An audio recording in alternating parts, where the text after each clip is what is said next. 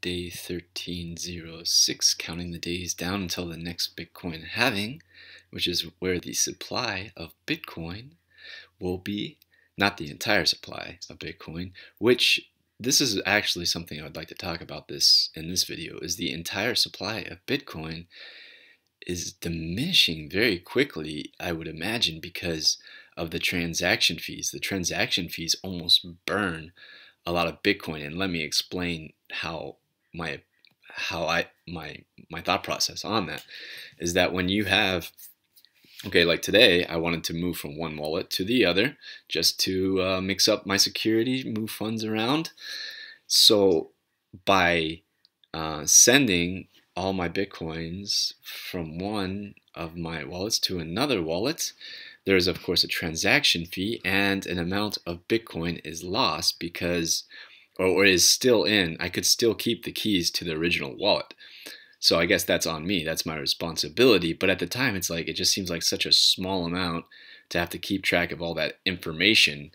Um, well, that, I wonder if that streak's actually on the screen. That's pretty cool looking.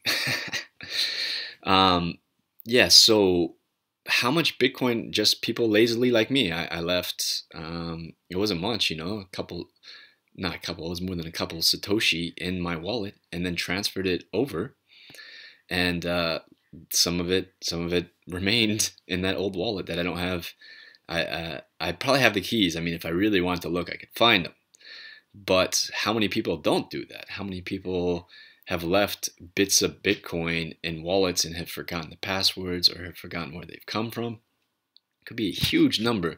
So the total supply of Bitcoin is being reduced quite quickly, I imagine. I'm sure people are trading funds around all the time and losing Bitcoin. Bitcoins are disappearing. So will that affect the price? Of course, if there's less Bitcoin supply, the price will be affected. Um, I don't really like transaction fees, but for whatever reason, they're a part of the system, and um, the system seems to be working. The system seems to be moving forward. Is it a more enlightened system? Perhaps. We'll find out. You have to be more careful with your bitcoins. You can gamble instantly and watch those bitcoins disappear instantly.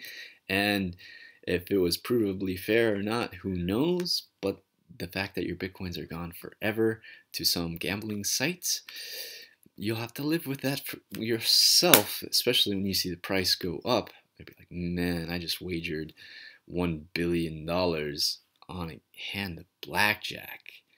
How are you going to feel about that? And I'm asking myself that question because I've lost a whole Bitcoin on a hand of uh, blackjack. I've actually lost a few. So, moral of the story is don't waste your bitcoins. Keep your bitcoin, protect your wealth, and your wealth will protect you.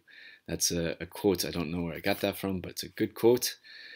Um, something else I invested a Bitcoin in in the past has been Hashnest, which is a Chinese uh, cloud service mining company, and I've never made money with them. I've probably lost as much money, uh, lost as much Bitcoin through them as I did from from wagering, so it has never been profitable except for the PACMICs. I I mean those in theory should be profitable. I don't know much about the calculations or whatnot, but it's something you could look into. I just paid for one today.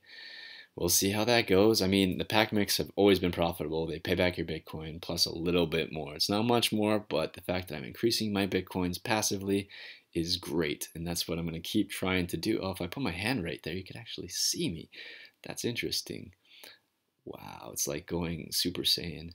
So there's just normal me with my hand blocking the sun and then Super Saiyan me. Yes, I like it. All right, that's it for day 1306. You can look into Hashnest if you want to invest in cloud mining. Would I do it? I did it with one Bitcoin into their new contracts, their PACMIC, their new, I think it's version 6 PAC, PACMIC contracts maybe it's version 5 i don't remember exact number but uh, yeah i'll let you know how that goes i'll keep you updated on that as we continue counting